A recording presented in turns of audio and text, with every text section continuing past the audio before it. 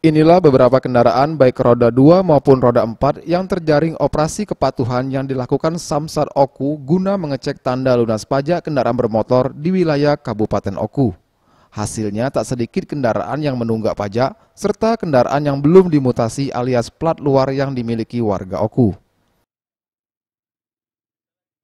Kepala UPTB Samsat Oku 1, Humaniora Basilili Basmar mengatakan, Pemeriksaan tanda lunas PKB kendaraan ini dilakukan untuk memastikan bahwa kendaraan yang melintas di Kabupaten Oku sudah taat pajak.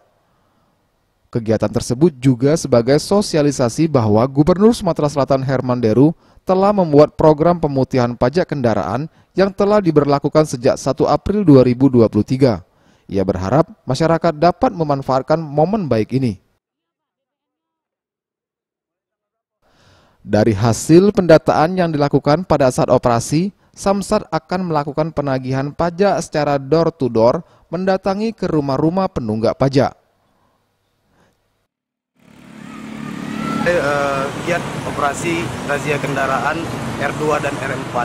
Tujuan dari giat ini adalah untuk uh, mengecek tanda lunas pajak kendaraan bermotor bagi masyarakat di Kabupaten Ogan Komering Ulu. Sekaligus kita mensosialisasikan bahwa mulai uh, dari tanggal dari bulan April kemarin tanggal 11 1 April tahun 2023 Bapak Gubernur Sumatera Selatan Bapak Haji Herman Deru membuat program pemutihan pajak kendaraan dan berakhir tanggal 23 Desember. Giat ini selain untuk uh, mengecek uh, jenis uh, tunggakan pajak kendaraan bagi masyarakat juga kita akan mendata berapa banyak kendaraan yang masih menunggak di Kabupaten Oku sehingga ke depannya ketika ada pemberlakuan Undang-Undang uh, 74 Undang-Undang 22 pasal 74 maka masyarakat sudah tidak kaget lagi.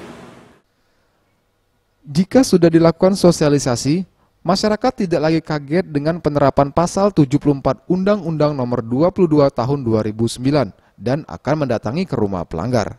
Bagus Mihargo, Sriwijaya TV.